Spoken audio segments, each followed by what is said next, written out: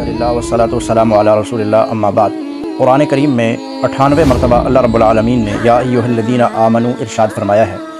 جس میں سب سے پہلے سورہ بقرہ آیت نمبر 104 یا ایوہ الذین آمنو لا تقولوا راعنا وقول انظرنا واسمعوا وللکافرین عذاب علیم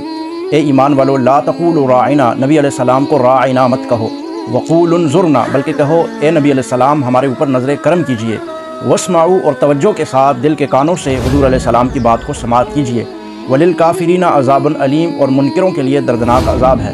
حضور علیہ السلام کو صحابہ اکرام رضوان اللہ تعالی علی مجمعین جو مخاطب کیا کرتے، کہا کرتے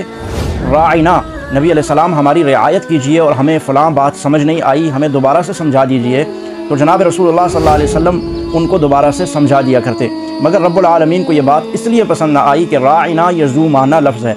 راعنا یہود کی عبرانی زبان کے اندر رنکیس والا لفظ تھا جو اللہ نے جس کو ناپسند کرتے ہوئے صحابہ اکرام رضوان اللہ تعالی علی مجمعین اول مخاطبین ہیں اور پھر پوری کی پوری انسانیت کو قیامت تک آنے والے ہر مسلمان کو اس بات سے روکا، ایمان والے کو روکا کہ حضور کے لیے ایسا زو معنی لفظ استعمال نہ کیا جائے جس میں کوئی کمی، کوتاہی یا تنقیص ہوتی ہو، لہٰذا ہر وہ لفظ استعمال کیا جائے جس میں ادب کا اعلیٰ سے اعلیٰ پہلو وہ سامنے آئے۔ تو لہٰذا ایسا ہلکا لفظ حضور علیہ السلام کے لیے نہیں استعمال کرنا جس میں کوئی ذرا برابر بھی کمی کوتاہی آتی ہو۔ تو اس میں ہمارے لیے یہ پیغام ہے، اے ایمان والو، کوئی ایسا لفظ استعمال نہ کرو جس میں حضور علیہ السلاۃ والسلام کی کوئی تنقیص یا کمی اور کوتاہی لازم آتی ہو یا ان کی طرف کسی کمی اور کوتاہی کی نسبت ہوتی ہو۔ لہٰذا حضور علیہ السلام کے لیے جب بھی کوئی لفظ استعمال کرو تو وہ اعلیٰ سے اعلیٰ، افضل سے افضل، برتر سے برتر ادب و احترام، حضور علیہ السلام کا کرنا یہ ہمارے اوپر لازم، واجب ویڈیو کے نیچے سبسکرائب کے بٹن پہ کلک کریں،